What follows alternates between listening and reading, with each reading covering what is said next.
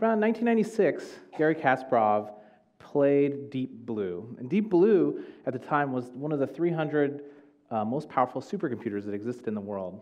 And Garry Kasparov lost a game to this supercomputer.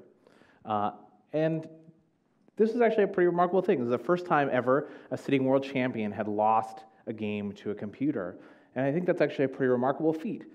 For one, I think also it's pretty remarkable that I think many of the people in this room uh, may have not been born then, and also uh, may think that's actually not very re- remarkable because they know computers are so powerful and so fast. You know, of course, a computer is faster. And in fact, your intuition is absolutely right. The, the mobile phone that you have in your pocket, assuming you've bought one in the last couple years, um, is actually far, far more powerful than the, than the Deep Blue supercomputer. In fact, running the right software, your cell phone could beat, uh, with very high probability, many of the best uh, chess players in the world today. It's pretty amazing. It's also pretty remarkable that 20 years before this happened, a leading expert in the world, someone who deeply understood chess and actually has written books on both chess and computers, said that the idea of an electronic world champion belongs only in the pages of a science fiction book. This is pretty amazing. These are actually all three pretty remarkable chain of events that's happened over the last 40 years.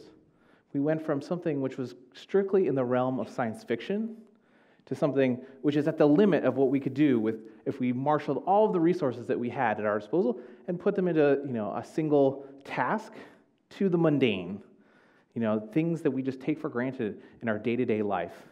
And this is actually a pretty remarkable transformation that's happened over the past 40 years.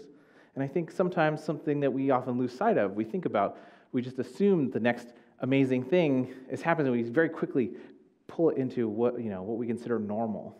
But I, you know, I think there's so many young people here today who are just beginning on their career. You know, I ask you to think, where are you going to be in your career 20 years from now? Where are you going to be in your career 40 years from now? Uh, probably still very active in your field. And, you know, the things that are science fiction now may become mundane by the time you're finished.